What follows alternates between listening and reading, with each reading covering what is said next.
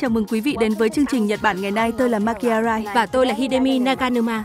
Hàng tuần ngay từ trường quay tại Tokyo, chúng tôi mang đến cho quý vị các tin tức mới nhất về Nhật Bản. Nếu quý vị muốn tìm hiểu về kinh tế văn hóa cho đến ẩm thực của Nhật Bản, thì đây chính là chương trình mang đến cho quý vị những thông tin đó. Và đây là những chủ đề của chúng ta ngày hôm nay. Trong chuyên mục Người dệt ước mơ, một công ty nhỏ ở trung tâm Tokyo tập trung duy nhất vào việc sản xuất nhíp nội địa Nhật Bản. Từ mục vệ tinh kinh tế thế giới, tìm hiểu về dòng di cư của thanh niên từ các thành phố về các vùng nông thôn. Từ chuyên mục Takumi, một sáng kiến mới trong khâu sản xuất sữa đậu nành để làm đậu phụ. Và cũng từ chuyên mục Takumi, một nhà phát minh làm kính mắt bằng những công nghệ tối tân.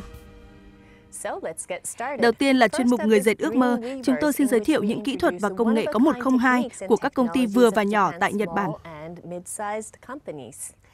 Lần này chúng ta sẽ nói về một công ty có tên là Kowa Pinset Industries, chuyên sản xuất nhíp y tế và dùng trong công nghiệp ở Katsushika, Tokyo và tập trung giữ khâu sản xuất ở nội địa Nhật Bản. Tôi được biết là công ty này sản xuất khoảng 70% tổng số nhíp hiện được sản xuất tại Nhật Bản, nhưng doanh nghiệp đã từng gặp phải khó khăn rất lớn. Đúng vậy, sau khủng hoảng tài chính 2008, doanh số giảm xuống còn khoảng 1 phần 3 so với trước đó, và công ty đã tính tới việc đóng cửa nhà máy. Vậy họ đã làm gì để thoát khỏi cuộc khủng hoảng đó? Cho đến lúc đó, công ty chủ yếu làm về nhíp y tế và dùng cho công nghiệp, nhưng họ dần dần mở rộng sang các sản phẩm phong phú khác và theo yêu cầu của khách hàng với những đơn hàng nhỏ. Nhíp đặt theo yêu cầu sao? Đúng vậy. Ví dụ như những chiếc nhíp này, Chúng được dùng để gắp vi sinh vật như là con bọ nước, có kích thước khoảng 2mm mà không làm chúng bị kẹp nát. Vậy là không lo chúng sẽ bị bóp nghẹt rồi. Đúng vậy. Và vì những chiếc nhíp này được tinh chỉnh để tạo ra một khoảng cách khoảng 2mm giữa hai đầu nhíp. Nhờ vậy mà có thể gắp vi sinh vật này mà không kẹp chặt nó. À, tôi nghĩ rằng việc tinh chỉnh như thế chỉ có ở các thợ thủ công mới có thể làm được thôi. Chúng ta sẽ cùng tìm hiểu những khó khăn cũng như tâm huyết của họ với kỹ thuật thủ công. Mời quý vị cùng tìm hiểu.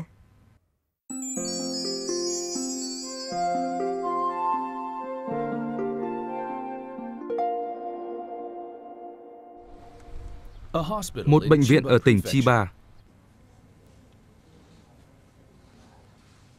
Hôm nay, một bệnh nhân đang trải qua một quy trình điều trị chạy thận nhân tạo. Trong số nhiều thiết bị y tế đang được dùng, công cụ chính là những chiếc nhíp này. Trong phẫu thuật yêu cầu những động tác tinh tế, chúng dùng để thay thế cho ngón tay người. Có một nhà sản xuất nhíp đã được tin tưởng không chỉ bởi các bác sĩ phẫu thuật cứu người, mà còn bởi các chuyên gia ở thuộc nhiều ngành khác nữa. Công ty đó là Kowa Pinset Industrial, một xưởng nhỏ ở trung tâm Tokyo.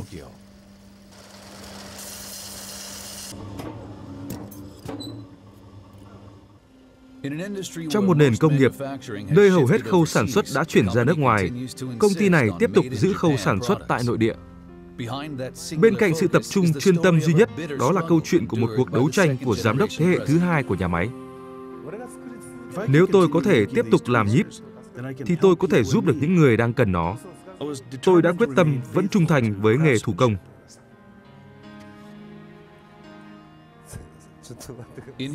Trong giọt nước mắt của ông ấy là sự tâm huyết với nghề thủ công. Đang đến thăm công ty này là Shin Yamagishi, người được đánh giá là một trong những nhiếp ảnh gia hàng đầu Nhật Bản. Ông ấy sẽ miêu tả nhà máy này như thế nào qua ống kính. Trông anh rất tuyệt đấy phường Katsushika, Tokyo. Nằm tại một khu vực của quận trung tâm này là công ty Kowa Pinset Industries. Họ có 8 nhân viên và tạo ra doanh thu hàng năm khoảng 100 triệu yên. Đó là một xưởng trông rất khiêm nhường. Ở đây mỗi năm sản xuất 70.000 chiếc nhíp, từ sản phẩm dùng cho y tế đến công nghiệp cũng như làm theo yêu cầu riêng của khách hàng.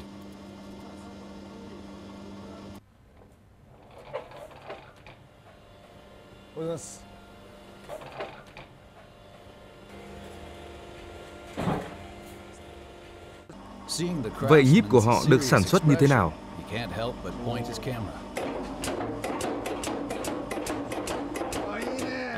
Nhìn thấy nét mặt chú tâm của người thợ, ông phải dơ ngay ống kính của mình lên.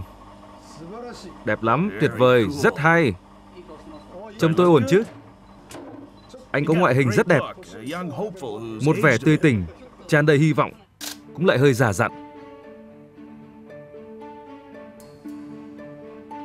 Được nhìn người thợ làm việc, ông Yamagishi bỗng thấy tò mò về những chiếc nhíp.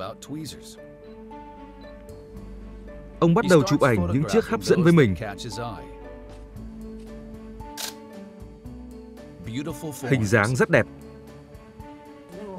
Tôi tò mò về cái này quá. Nó dùng để làm gì?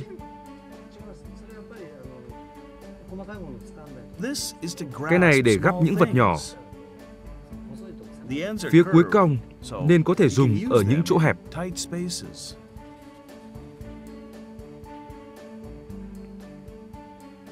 Nhíp khiến ông Yamagishi thích thú. Chúng trông giống như những bàn tay của một con côn trùng vậy. Coa Pinset Industry thành lập năm 1952. Từ sự bùng nổ của nền kinh tế bong bóng cho đến cuộc chiến giá cả khốc liệt và giảm phát kéo dài. Qua các thời kỳ đó, công ty luôn sản xuất nhíp chất lượng cao.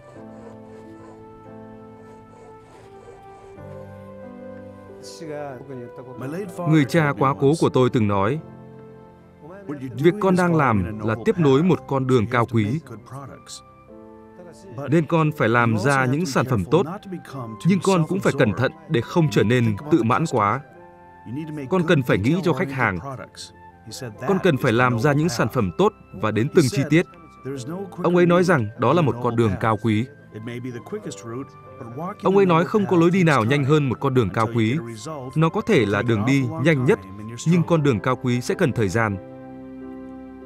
Cho đến khi có kết quả, sẽ cần thời gian rất dài và nhiều khó khăn phải vượt qua. Ông tiếp quản công ty từ bố mình, một người đề cao chất lượng, và vào năm 2005, trở thành chủ sở hữu thế hệ thứ hai. Nhưng đến năm 2008, ông đối mặt với thử thách lớn nhất của mình. Khủng hoảng tài chính. Tôi từng thấy các tin tức về nhiều công ty nói rằng doanh thu giảm 30%, rằng họ không thể tiếp tục hoạt động. Nhưng ở một điểm nào đó, chúng tôi lại ở trong hoàn cảnh hoàn toàn ngược lại. Chúng tôi chỉ còn lại 30% doanh nghiệp, chúng tôi mất 70%. Doanh thu giảm đến 70%, một mức giảm quá lớn và công ty đã phải đối mặt với câu hỏi liệu nó có thể tiếp tục kinh doanh hay không. Và một bất mát còn lớn hơn nữa, bố ông lúc bấy giờ là chủ tịch công ty đã qua đời vào tháng 2 năm 2011 ở độ tuổi 84. Lúc đó tôi không biết phải làm gì. Tôi thấy không đủ khả năng. Tôi không tự tin. Lúc đó tôi thực sự rất suy sụp. Tôi không có lấy một ý niệm là phải làm gì. Doanh thu không tăng lên. Tôi đang làm những gì tôi muốn, nhưng mọi thứ không cho kết quả đúng như tôi muốn. Và dần dần, tôi đối mặt với khủng hoảng tài chính. Thật lòng, tôi chỉ muốn chết đi. Đó cũng là lúc tôi nhớ lại những lời cha dặn. Không có con đường nào nhanh hơn con đường cao quý này.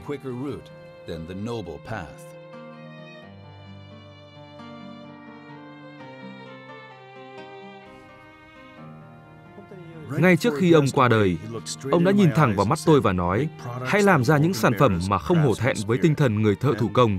Rồi ông qua đời. Không lâu sau khi bố ông mất, động đất và sóng thần 2011 xảy ra. Đây cũng là một thời điểm bước ngoặt của công ty.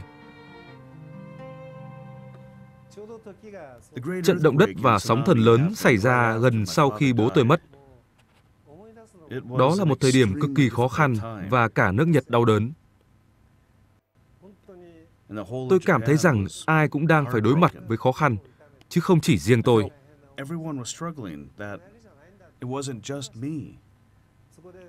Vì vậy, tôi quyết định phải tập trung làm những công cụ có thể giúp những người đang bị đe dọa sinh mạng. Thậm chí nếu sản phẩm tôi làm ra không được sử dụng rộng rãi trong lĩnh vực y tế, tôi vẫn cảm thấy rằng miễn là tôi tiếp tục sản xuất, tôi có thể giúp những người đang cần nó. Tôi muốn tiếp tục sản xuất một cách trung thực mà không làm dối. Công ty đã rơi vào đáy khủng hoảng, nhưng nó đã quyết định lật ngược thế cờ. Bên cạnh lĩnh vực kinh doanh béo bở của họ là nhíp dùng cho y tế và công nghiệp, họ cũng bắt đầu nhận các đơn hàng số lượng ít và sản phẩm theo yêu cầu khách hàng. Từ quan điểm kinh doanh ngắn hạn, chúng tôi tập trung vào các sản phẩm gen và doanh thu tăng đều, nhưng còn nhiều công ty phụ thuộc chúng tôi.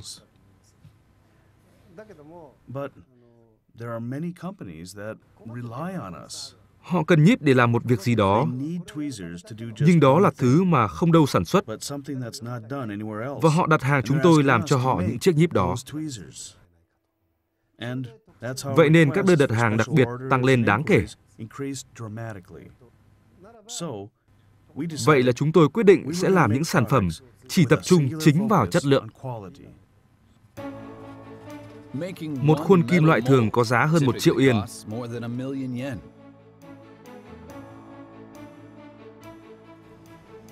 Các sản phẩm theo yêu cầu được bán với số lượng ít. Chỉ riêng làm khuôn đắt đỏ thôi cũng đã làm cho họ bị lỗ. Sau khi có kinh nghiệm về đơn đặt hàng của khách, công ty bắt đầu làm ra những khuôn nhíp có thể phù hợp với nhu cầu trong tương lai.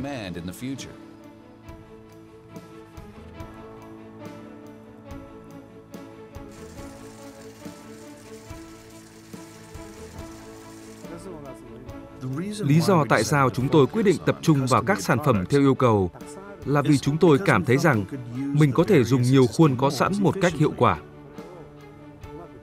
Và với những khuôn này, chúng tôi có thể phát triển các sản phẩm mới và các mẫu mà không phát sinh các chi phí liên quan đến khuôn nữa. Hiện tại họ có hơn 200 khuôn trong kho. Họ có thể xử lý đơn đặt hàng của khách bằng những điều chỉnh nhỏ. Nhíp sản xuất theo yêu cầu đã được công nhận rộng rãi và trở thành lĩnh vực chính của công ty. Và năm ngoái, họ quay lại có lãi lần đầu tiên trong 6 năm. Mọi người bước lên đi nào. Ông Yamagishi tập trung các nhân viên sau giờ làm để chụp ảnh chung. Đẹp rồi. Mọi người nhìn đây nào. Và cười nào.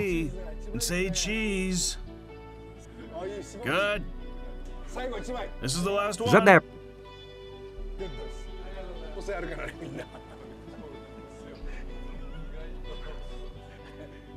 Ông Yamagishi cười rất tươi. Ba ngày sau, chúng tôi đến thăm văn phòng của ông. Các bức ảnh như thế nào rồi? Dấu ấn sản xuất nội địa Nhật Bản này đã mang đến cho nó một đời sống. Sản xuất nội địa Nhật Bản là niềm tự hào của họ. Từng chiếc đều khác nhau tùy từng mục đích sử dụng. Đó là điểm khó.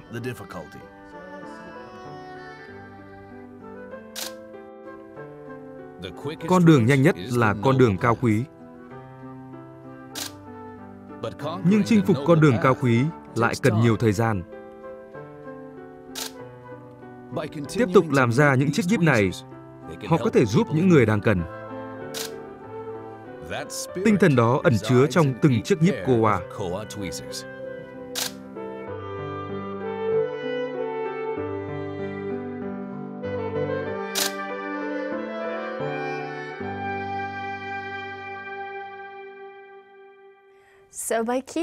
Bằng cách giữ giá thấp cho các sản phẩm đúc khuôn, họ có thể cung cấp nhíp theo yêu cầu ở mức giá hợp lý. Vậy nên số đơn hàng sẽ được tăng lên. Đúng vậy, lúc đầu họ đã không quan tâm tới lợi nhuận và chỉ tập trung vào cung cấp sản phẩm có chất lượng ổn định cho những khách hàng đang cần. Kết quả là nhíp theo yêu cầu lại trở thành động lực chính cho kinh doanh của họ. Hy vọng rằng họ có thể tiếp tục mang những chiếc nhíp chất lượng cao đến cho những công ty đang cần họ.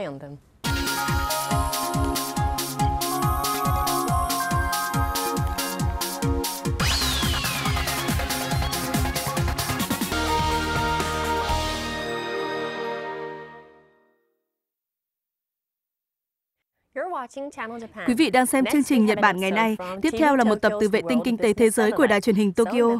Chị Naganuma, chủ đề là gì vậy? Chúng ta sẽ tìm hiểu dòng di cư của thanh niên. Trong những năm gần đây, ngày càng nhiều người ở độ tuổi 20 tới 30 chuyển từ các thành phố ra các vùng ngoại ô và chính quyền các cấp cũng đang hy vọng rằng những người mới đến sẽ giúp tái phát triển địa phương mình. Vâng, tôi được biết rằng do dân số lão hóa và thu hẹp nên ở các thành phố lớn, đặc biệt như là Tokyo có sự tập trung dân số quá cao. Đúng vậy. Trong năm tài khóa 2013, khoảng 8.200 người đã chuyển hộ khẩu thường trú từ Tokyo ra các vùng khác. Con số này cao gần gấp 3 lần so với năm 2009. Con số này chỉ thể hiện những người chuyển đi theo các chương trình hỗ trợ do các chính quyền địa phương tổ chức và con số thực tế được cho là đạt tới gần 20.000. Việc chuyển đi khỏi thành phố để đến sống ở các vùng khác như vậy có lợi ích gì nhỉ? Ồ, trước tiên là chi phí sinh hoạt thấp hơn ở các thành phố lớn, đặc biệt là Tokyo. Nhiều trường hợp ở các vùng xa còn có thể mua được nhà có vườn với mức giá mà nếu ở thành phố thì chỉ mua được một căn chung cư nhỏ. Một điểm hấp dẫn nữa là giá cả hàng hóa cũng sẽ rẻ hơn ở các thành phố lớn đúng không? Vâng, giá thực phẩm cũng rẻ hơn. Có thể mua được thực phẩm tươi ngay tại vùng và giá hợp lý. Và nếu sống gần nông dân, họ còn có thể cho nông phẩm khi họ nuôi trồng được nhiều. Và tất nhiên là gần gũi với thiên nhiên là một điểm hấp dẫn rất lớn. Đúng vậy, gần núi hoặc gần biển cũng là một điểm lợi khi sống ở nông thôn. Nhiều người chuyển nhà nói rằng họ thấy đỡ căng thẳng khi sống trong môi trường như vậy. Việc các chính quyền địa phương đang mở rộng các chương trình hỗ trợ cho dân nhập cư mới cũng đang tạo điều kiện thuận lợi cho việc di cư. Chính xác. Ví dụ như một chính quyền địa phương đang có gói trợ cấp thanh toán một lần 200.000 yên, khoảng 1.600 đô la để hỗ trợ xây nhà mới và chăm sóc điều dưỡng miễn phí. Những chương trình như thế này đang tăng lên trong những năm gần đây. Tôi được biết chính phủ Abe cũng đang đẩy mạnh một chương trình tái thiết vùng để khuyến khích dòng người đến các khu vực bên ngoài các thành phố lớn. Tôi có thể thấy sự cạnh tranh giữa các vùng để thu hút người trẻ sẽ tăng lên trong tương lai. Có thể lắm chứ. Chúng tôi có một phóng sự về dòng di cư của thanh niên và cách họ đang giúp tái sinh các cộng đồng địa phương. Xin mời quý vị cùng tìm hiểu.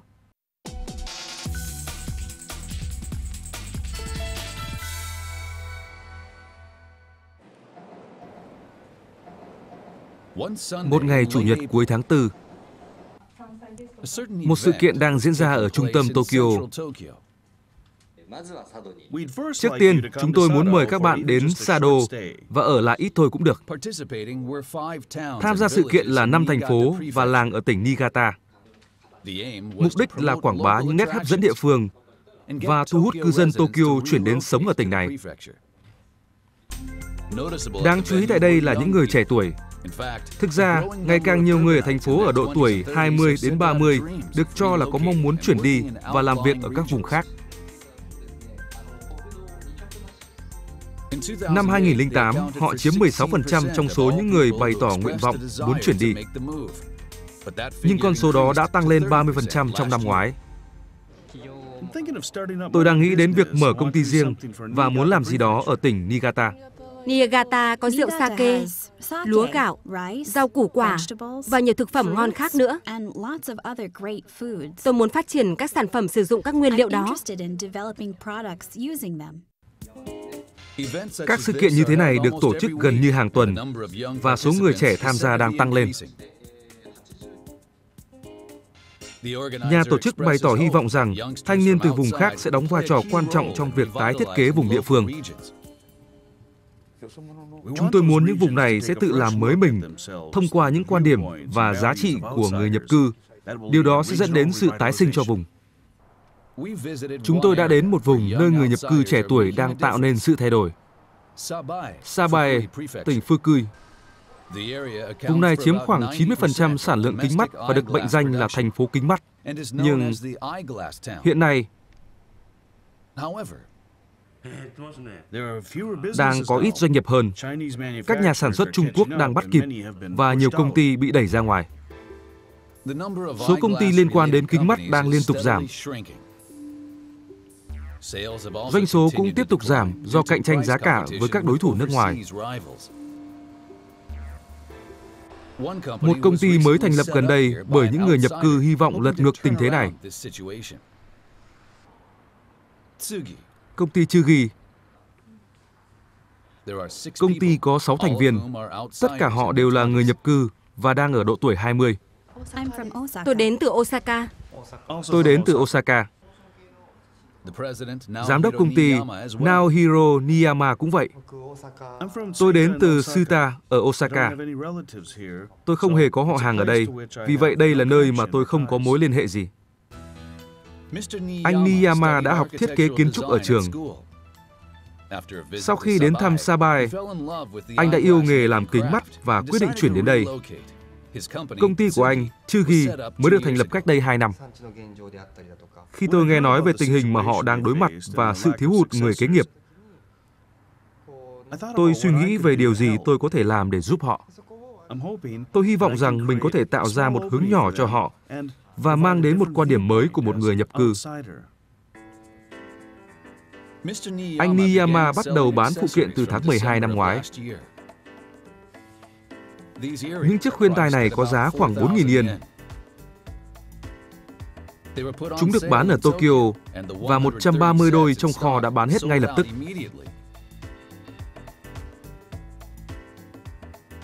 Bí quyết được cho là thiết kế và vật liệu làm ra khuyên tai này. Những đôi khuyên tai này được làm bằng vật liệu không thể thiếu khi làm kính mắt. Vậy đó là vật liệu gì?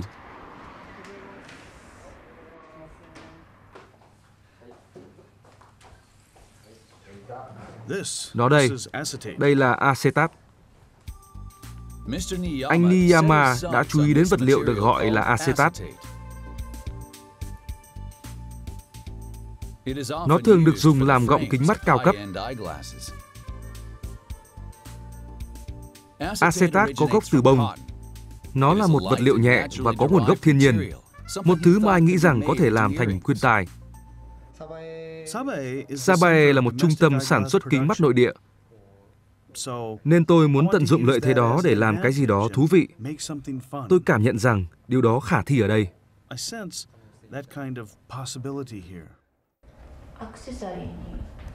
Ông đã bao giờ nghĩ đến việc dùng vật liệu này làm phụ kiện chưa? Trước đây tôi chưa bao giờ nghĩ đến. Tôi chắc là người dân ở Sabae cũng chưa bao giờ có ý tưởng đó. Tôi nghĩ Cậu có nghiêm túc không? Liệu có bán được không? Nhưng tôi đã thấy mọi người mua chúng và đó quả là một sáng kiến hay. Hiện nay, công ty đang tự làm khuyên tài, nhưng nó có kế hoạch sẽ tăng sản lượng và thuê thầu phụ là các nhà sản xuất địa phương. Chính quyền Sabae cũng đặt nhiều hy vọng từ các hoạt động của anh Niyama. Quan điểm của những người mới đến là một nhân tố lớn. Sự cộng tác trong phát triển sản phẩm, kết hợp giữa nghề thủ công truyền thống và các kỹ thuật riêng của công ty có tiềm năng biến thành một thành tựu lớn. Công ty đang dự báo doanh thu khoảng 10 triệu yên trong năm tài khóa năm nay và cho biết nó đang hướng đến 100 triệu yên trong vòng một thập kỷ. Chúng tôi muốn chung tay với người dân địa phương và phát triển cộng đồng này. Sau đó sẽ có nhiều công việc hơn, thu hút nhiều người hơn. Tôi hy vọng chúng tôi có thể tạo ra một môi trường tốt cho mọi người. Cũng có nhiều hoạt động để bồi dưỡng thanh niên muốn chuyển đến các vùng xa trung tâm. Vào tháng 4, tổ chức phi lợi nhuận này mở một chương trình phục vụ mục đích đó.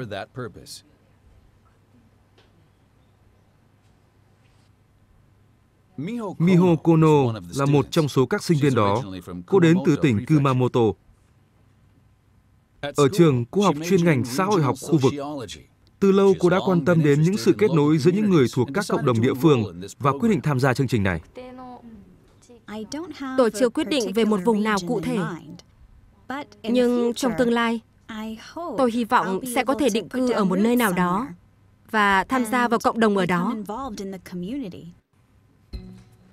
Chương trình này hướng dẫn các sinh viên cách xác định những điểm hấp dẫn của địa phương.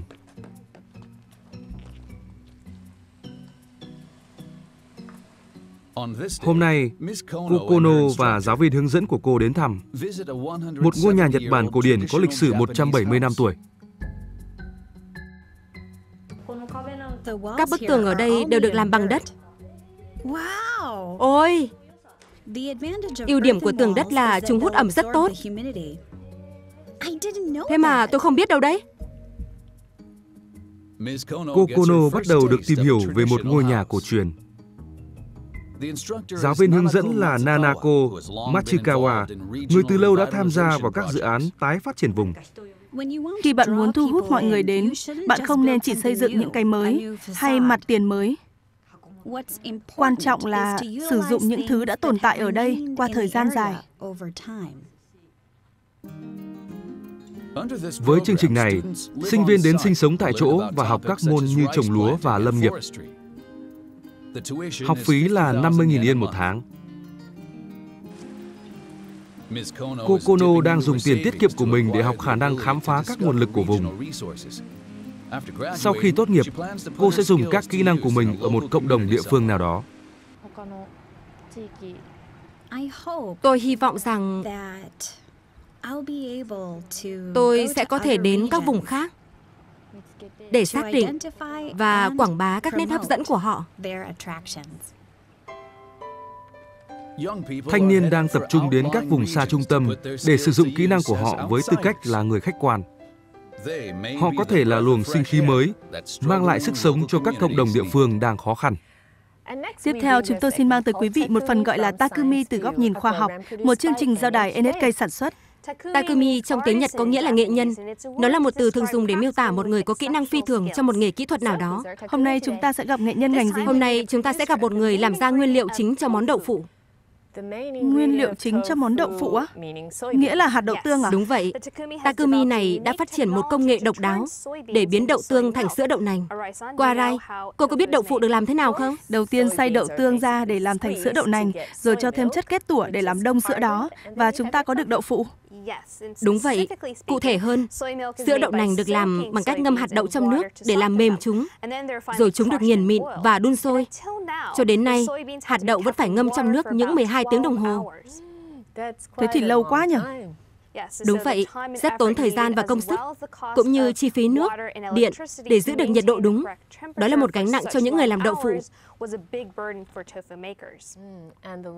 Càng mất nhiều thời gian, càng tốn nhiều chi phí nữa. Đúng vậy, nên Takumi đã có một ý tưởng tuyệt vời. Ông ấy đã phát triển một nhà máy sản xuất sữa đậu nành, rút ngắn thời gian sản xuất xuống còn 1 phần 60 lần. 1 phần 60 lần nữa? Quả là một sự cải tiến rất lớn. vậy, nhưng ông mất tới 5 năm thử nghiệm.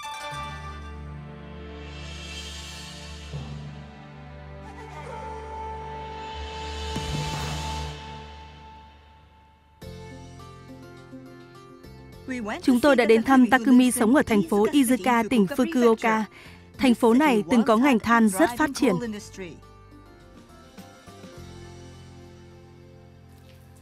Xin chào, tôi là Michelle. Các bạn có biết đây là gì không? Vâng, nó chính là đậu phụ, một món ăn có mặt ở Nhật Bản nhiều thế kỷ nay. Và đậu phụ được làm từ sữa đậu nành. Hôm nay tôi sẽ đến thăm Takumi, hai người phát kiến, người đã có một cách làm mới khác thường để làm ra sữa đậu nành. Uhm, chỗ này có mùi thơm quá. Và hãy nhìn những cỗ máy ở đây này. Xin chào, rất vui được gặp ông. Xin chào, tôi là Shinkai. Đây chính là Takumi của chúng ta, Setsuo Shinkai. Và đây là nhà máy sản xuất sữa đậu nành mà ông đã tạo ra.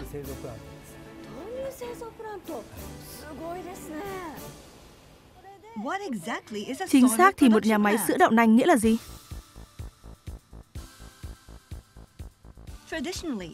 Trước đây, sữa đậu nành được làm bằng cách ngâm hạt đậu vào nước, rồi mang xay nhỏ và đun sôi trong nước. Đó chính là cách làm thông thường. Takumi chú ý đến công đoạn ngâm. Có một vấn đề mà ông muốn giải quyết. Trước tiên, công đoạn này mất quá nhiều thời gian. Hạt đậu phải được ngâm trong nước hơn 12 tiếng cho đến khi đủ mềm để xay vỡ ra. Trong suốt quá trình này, một số axit amino và khoáng chất mang lại hương vị ngon cho đậu phụ sẽ bị mất đi. Cho đến nay, người ta vẫn chấp nhận nó như là một phần không thể tránh khỏi của công đoạn này. Nhưng Takumi của chúng ta đã tìm ra một giải pháp cho vấn đề này. Tôi đã quyết định nghiền hạt trước rồi mới luộc. Chúng tôi đã rất ngạc nhiên khi biết rằng nhà máy sản xuất sữa đậu nành của Shinkai làm khác xa với công đoạn ngâm. Chúng tôi muốn được xem họ sản xuất như thế nào. Wow, nhìn này, các hạt đậu đang được hút lên. Các hạt đậu tương còn sống được hút vào trong máy và nghiền thô. Sau đó chúng được trộn với nước và đậu nành sẽ được nghiền nhỏ hơn nữa trong khâu này.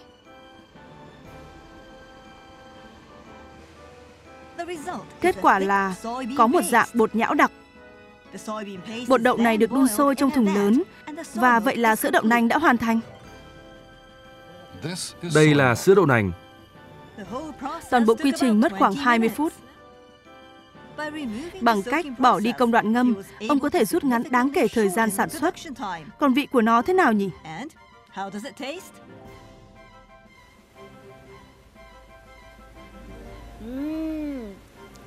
Vị rất ngậy và rất ngon.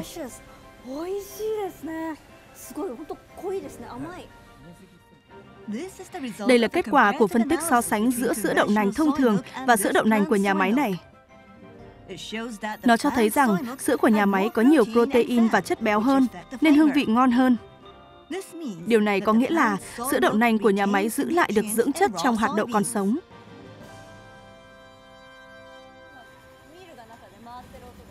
Tuy nhiên, việc phát triển được nhà máy như ngày nay đã phải trải qua rất nhiều thí nghiệm thử sai. Vấn đề của Takumi là gì? Nếu nghiền hạt đậu mà không ngâm trước, thì sữa đậu sẽ có mùi vị như bột sống. Ý ông ấy là gì nhỉ? Vấn đề này là do kết cấu của tế bào của hạt đậu tương. Với phương pháp thông thường, hạt đậu được ngâm vào nước trong 12 tiếng. Trong thời gian này, nước thấm vào cấu trúc tế bào của hạt đậu cho đến khi nó nở to ra gấp 3 lần so với kích thước ban đầu. Các tế bào nở ra dễ dàng bị nghiền vỡ trong máy xay, chiết xuất ra các dưỡng chất của hạt đậu.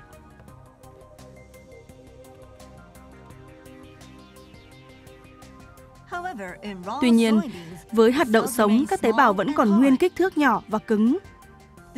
Máy xay không thể nghiền nhỏ đến mức tế bào.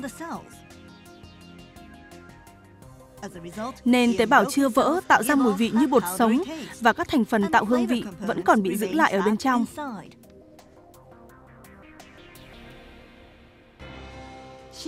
Shinkai nhận ra rằng ông phải đưa ra một ý tưởng riêng. Tôi nghĩ rằng sẽ dễ chiết xuất dưỡng chất và hương vị hơn nếu hạt đậu được cắt thành các miếng nhỏ.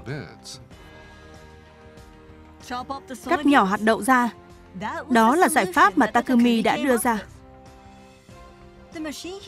Chiếc máy chúng ta nhìn thấy lúc đầu không chỉ trộn đậu, mà còn cắt nhỏ hạt đậu ra nữa. Chúng tôi muốn xem bên trong của máy, nhưng... Bên trong là cái gì ạ? Đó là một bí mật thương mại. Chúng tôi không được cho xem bên trong, nhưng nguyên lý của nó như thế này. Thiết bị của Takumi dùng các lưỡi dao đặc biệt để có thể cắt hạt đậu đến mức tế bào. Điều này cho phép ông chiết xuất thành công và đầy đủ hương vị của hạt đậu. Shinkai đã cách mạng hóa việc làm sữa đậu nành, một phương pháp truyền thống đã tiếp nối nhiều thế kỷ. Chúng tôi hỏi ông, ngành sản xuất có ý nghĩa như thế nào với ông? Có rất nhiều ý nghĩa. Nếu nó dễ dàng thì sẽ thấy chán. Nhưng thường thì bạn phải luôn cố gắng, thậm chí khi nó có vẻ như bạn sẽ không bao giờ làm được. Tôi cảm thấy công sức của mình được đền đáp mỗi khi có ai đó nói rằng nó rất ngon.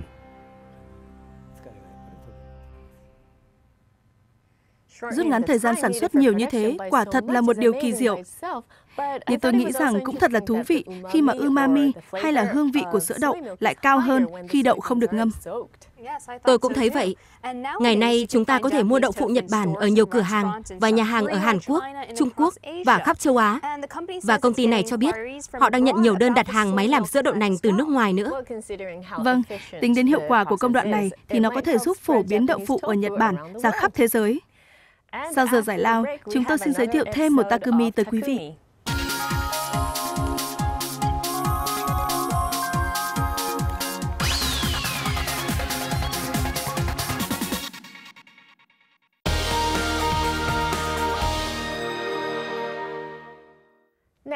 Tiếp theo, chúng tôi xin giới thiệu một Takumi. Lần này, chúng tôi xin giới thiệu Takumi làm kính mắt. Cô Arai, cô có hay đeo kính không? Thị lực của tôi rất tốt nên tôi không đeo kính thường xuyên. Tôi chỉ đeo kính thời trang thôi. Ở Nhật Bản, kính mắt thường gắn liền với thành phố Sabae. Nó sản xuất 90% gọng kính bán ở Nhật Bản và 20% trên thế giới. Đó đều là những thị phần lớn. Đúng như vậy. Nhưng với sự tăng lên của các sản phẩm giá rẻ từ các nhà sản xuất Đông Nam Á, thành phố này đang vất vả duy trì vị trí trung tâm sản xuất kính mắt toàn cầu. Giá cả đang giảm xuống. Tôi thấy kính thuốc có giá chỉ khoảng 5.000 yên thôi. Đúng vậy. Vì thế, Takumi của chúng ta đang cạnh tranh với các nhà sản xuất giá rẻ bằng cách đưa ra các kính mắt với những giá trị và đặc tính phi thường. Mời quý vị cùng tìm hiểu.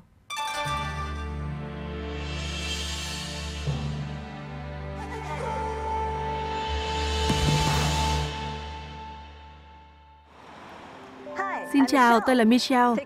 Hãy nhìn cặp kính này. Thiết kế tinh tế này rất đẹp có phải không ạ? Và nó còn rất nhẹ nữa. Nhưng không chỉ có vậy, Takumi hôm nay của chúng ta đã tạo ra một gọng kính đặc biệt, giữ được hình dáng thậm chí sau khi bẻ cong. Hãy cùng chúng tôi tìm hiểu nhé. Đây là thành phố Sabae, tỉnh Fukui. Thành phố này nổi tiếng là một trung tâm sản xuất lớn về kính mắt. Trong độ tuổi lao động, cứ 6 người lại có một người đang làm trong ngành sản xuất kính mắt.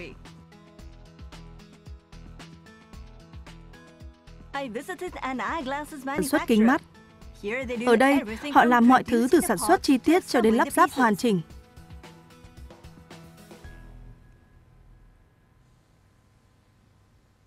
Xin chào, tôi là Michelle Yamamoto. Xin chào, tôi là Iwahori. Takumi hôm nay của chúng ta là Kazuo Iwahori. Ông dẫn dắt dự án phát triển kỹ thuật sản xuất ra những gọng kính mới này. Chúng tôi đến xem những loại kính mà ông đã phát triển và các tính năng của nó. Wow, thật là ấn tượng. Có thật là không sao kể cả khi xoắn và kéo như vậy không? Không sao hết. Đây là kiểm tra độ bền mô phỏng các hoạt động đóng mở. Thường là 20.000 lần. Thế mà nó vẫn tốt sao? Tuyệt vời quá. Cô có thể bẻ cong như thế này mà nó vẫn không sao. Thật kỳ diệu. Nó bị bẻ cong đến thế rồi mà không hề bị gãy. Những đặc tính lớn nhất của những gọng kính mắt này là độ linh hoạt và khả năng quay về hình dáng ban đầu. Bí quyết của những gọng kính mang tính cách mạng này nằm ở vật liệu tạo ra chúng. Takumi tập trung vào một vật liệu mới và phát triển nó. Nhưng tại sao một nhà sản xuất gọng kính mắt lại quyết định phát triển một vật liệu mới? Đây là lý do. Từ thập niên 90 của thế kỷ trước, các công ty châu Âu bắt đầu thâm nhập thị trường và phổ biến các thương hiệu cao cấp của họ. Sau đó là cuộc chiến giá cả khốc liệt với Trung Quốc. Takumi cảm thấy rằng cách duy nhất để chiến thắng cạnh tranh là tạo ra giá trị gia tăng cho các sản phẩm. Chúng tôi muốn không ai có thể cạnh tranh về tính chức năng, nên chúng tôi đặt trọng tâm vào yếu tố tạo thành cảm giác thoải mái. Nhưng ông đã không thể làm ra cặp kính nào ưng ý với các vật liệu truyền thống. Điều này khiến ông đưa ra quyết định phát triển một vật liệu hoàn toàn mới. Mục tiêu là tạo ra một hợp kim titanium siêu dẻo. Takumi và nhóm của mình đã cộng tác với Viện Nghiên cứu Vật liệu của Đại học Tohoku để làm một dự án đồng nghiên cứu.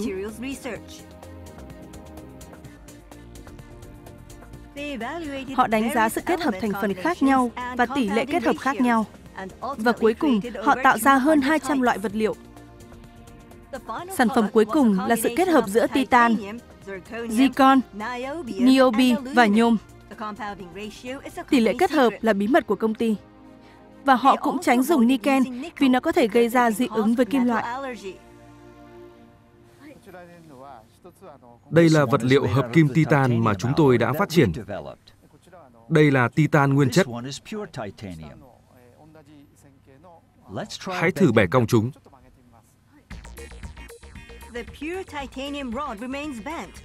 Thanh titan nguyên chất vẫn bị cong, nhưng hợp kim titan siêu dẻo mới phát triển này đã quay về hình dáng ban đầu.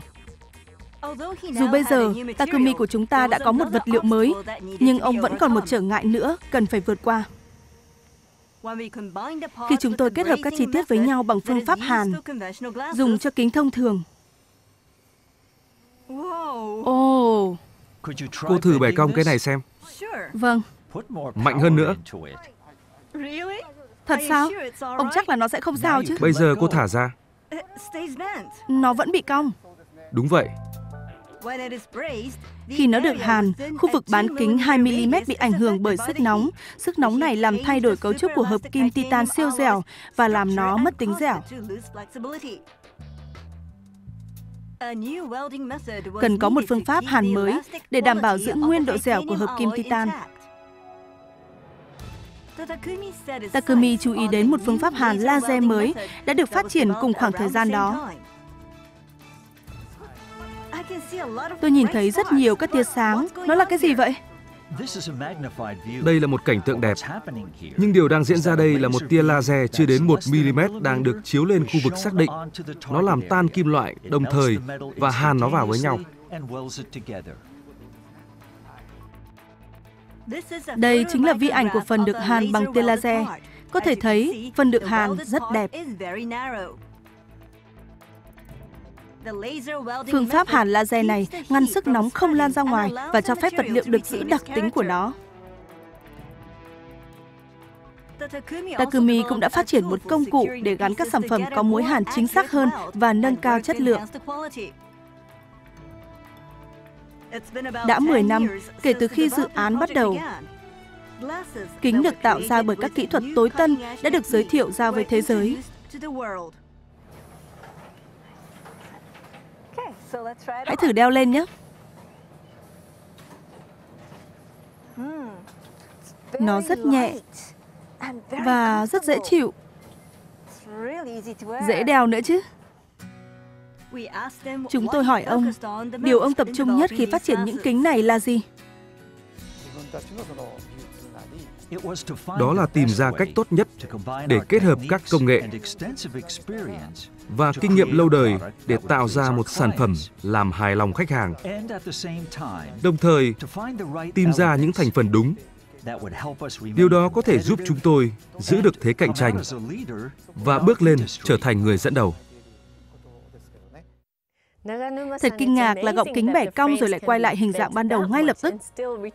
Và họ lại còn phát triển chất liệu mới từ titanium và công nghệ hàn bằng tia laser nữa chứ. Thật tuyệt vời phải không? Và chính nhờ vật liệu hợp kim titanium mà họ phát minh rất bền, linh động và kháng khuẩn, mà công ty này còn mở rộng sang cả lĩnh vực y tế nữa. Quarai, cô thấy ấn tượng với chủ đề nào của chúng ta hôm nay? Tôi rất ấn tượng bởi những điều mà giám đốc nhà máy nhíp đã nói, rằng ông ấy muốn tiếp tục sản xuất một cách trung thực, không gian dối.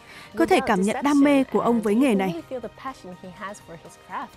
Thông tin trên đã khép lại Nhật Bản ngày nay tuần này. Chúng tôi vẫn còn rất nhiều thông tin thú vị chia sẻ với quý vị vào tuần tới. Kính mời quý vị chú ý đón xem.